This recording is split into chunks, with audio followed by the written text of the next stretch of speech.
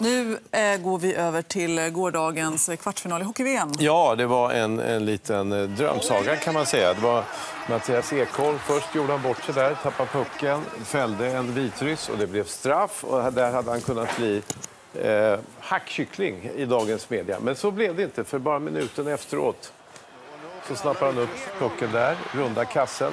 Snyggt på starka ben. Lite Foppa-likt faktiskt. Och avgör matchen istället och blir därmed matchhjälte.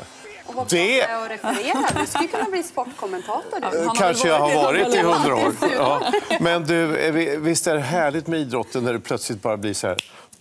Det bara ändras, hela förutsättningen. Tre sekunder. Ja. Det är som att vända på ett, eh, en handske på ett mynt. Det är helt fantastiskt verkligen. Och jag tänkte just när det hände också.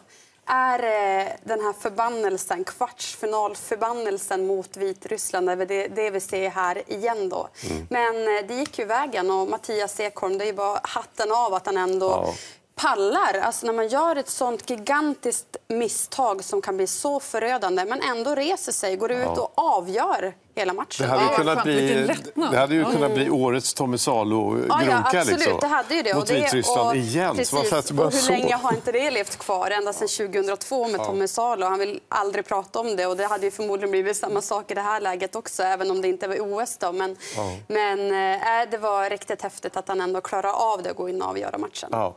Vad, vad tyckte du om matchen i övrigt då? 3-2 slutade det eh, Ja, vilket var ganska väntat ändå måste jag säga. Även om jag hade tippat 4-2 så hade jag faktiskt eh, satsat lite pengar på just 3-2. Eh, och anledningen Vad var det för odds på det då? Fick du, fick du ja, jag fick några. Ja, men det var varför, inte så varför mycket tippar du 4-2 och satsar inte. pengar på 3-2? Det var du som förvirrade mig när du sa 4-1 och så tänkte jag att jag kanske är helt ute och cyklar. Ja. Jag vågar inte helt enkelt. Jag blev lite ställd här.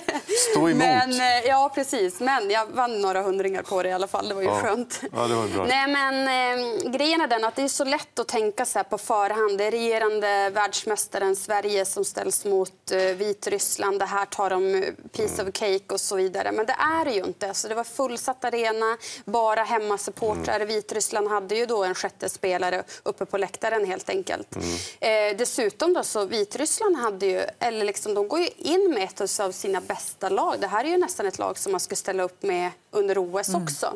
Men det är ju långt ifrån det lag som Tre Kronor skulle ha ställt upp med. Ja, men kul var det i alla fall. Blir det final kul. så småningom? Eller? Ja, alltså det kommer bli tufft. Det är ju Ryssland som väntar nu och vi vet ju vem de har, Jevgenij Malkin. Mm. Så det kommer bli jäkligt tufft. Men kul! Vi hejar!